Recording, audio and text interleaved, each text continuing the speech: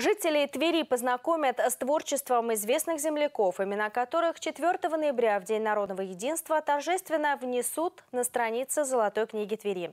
В библиотеке имени Герцена открылась выставка книг тверского писателя поэта советской эпохи Александра Гевелинга и знаменитого на всю страну историка, основателя Московского исторического музея Ивана Забелина. Эти имена достойны занять почетные места на страницах Золотой книги Твери. Именно эти кандидатуры поддержали и депутаты Тверской городской думы. Иван Сабелин и Александр Гевелинг – наши земляки, известные далеко за пределами малой родины. Выставку мы открыли в библиотеке для того, чтобы наши жители зная, что вот эти э, имена заносятся в Золотую книгу, смогли познакомиться с этими людьми поближе.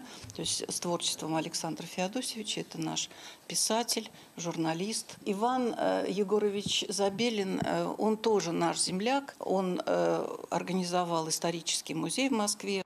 Строки стихотворения Александра Гевелинга жители Твери знают и видят всякий раз, когда прогуливаются у обелиска Победы. Там на рострах высечены слова из произведения «Современники и потомки». Он представлял Верхневожень на всесоюзных и всероссийских литературных форумах и конкурсах. Параллельно Александр Феодосевич работал в «Калининской правде», «Смене» и на областном радио. Александр Феодосевич – это наш известный поэт и писатель. На выставке представлены книги, которые были напечатаны еще при жизни нашего замечательного поэта и писателя. Здесь а, представлены и стихи, и произведения в прозе. А, книги а, Ивана Егоровича Забелина – это в основном труды, его исторические исследования в области истории. Он изучал быт русских царей, цариц, э, также быт русского народа.